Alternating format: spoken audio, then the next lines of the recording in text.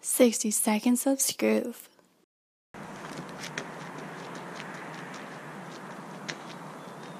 Going for a little morning run in this beautiful winter morning. Honestly, just probably just do like easy 20, 25 or so.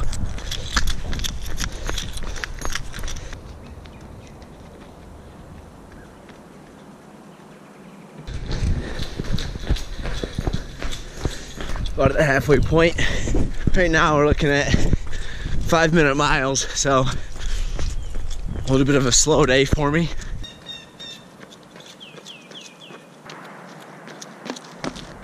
Twenty miles, hundred minutes later. Great little jog, great way to start the day. You get the lungs just filled with that brisk, cool mountain air